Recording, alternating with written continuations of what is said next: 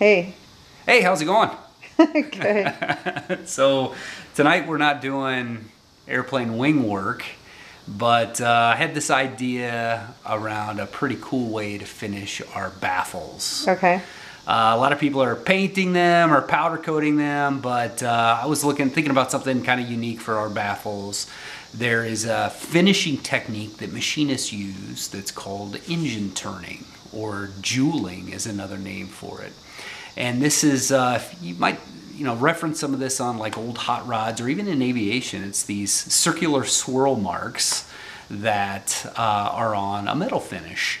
And one of the most famous aircraft that have engine that has engine turning on it is Charles Lindbergh's Spirit of St. Louis. The very front cowling of that, if you notice some of the fam- famous photos of Charles in that airplane, it has uh, engine turning you can see in the background.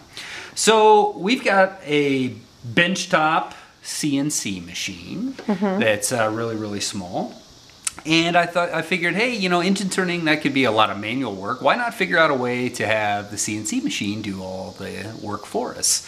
So um, there's not for this particular CNC machine. There's not a tool path for you know drilling or anything like that. So I wrote a Python program that outputs G code that should work and do the uh, the sequence for us with the correct offsets to do engine turning. So uh, Okay. now we're actually going to. I think we're going to give it a shot here. So This is the testing. This is the- troubleshooting. it is. So so it might not work. We haven't uh, we haven't actually tried this Part out all. coding, It's all right? part of part of development. So I'm going to run this program. Successfully created my G code file. So I'm going to go into my motion controller here. This is Carbide Carbide Motion. I'm going to load the file, engine turning here, and open that. And we're going to click on run. And we're going to cross our fingers here and we're going to see what happens. Oh, That's loud.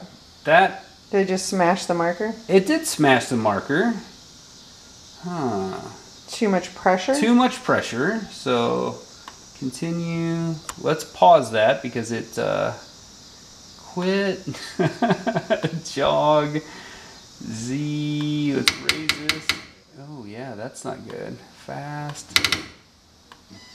Z plus. There we go. So I wonder why that smashed our marker down. I had our zeros all set up. Based on that marker's height? Oh, set zero. There's our problem. What's wrong? That's our problem. So I think what happened when I set the zero in this, it was in millimeters and then I switched to inches. So it, uh, yeah, it's, uh, it's got this all, it got it all messed up here. So we can actually, um, Let's adjust that. we'll do an adjustment on that. Okay. Let's go back here, done.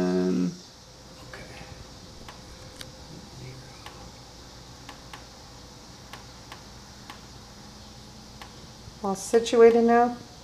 Yep.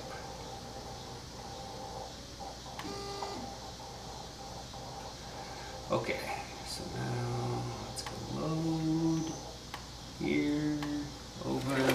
Okay. Take two.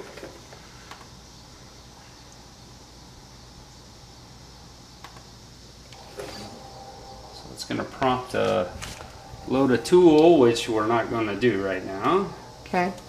and then should proceed to there we go so normally if the abrasive was in here it would be pausing for one second at each location and then doing an overlap half of the width of the abrasive that is going to be spinning in the spindle so then when it gets to the end, it'll go back and it'll slightly offset. You'll see that in a minute here. So it's going to offset.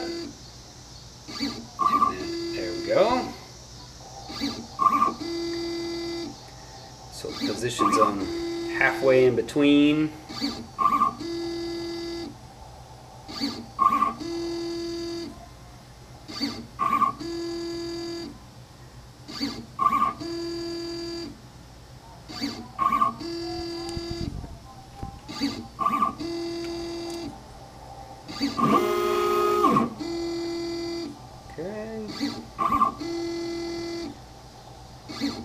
So this is successful? This is successful. This is exactly the pattern it should be making.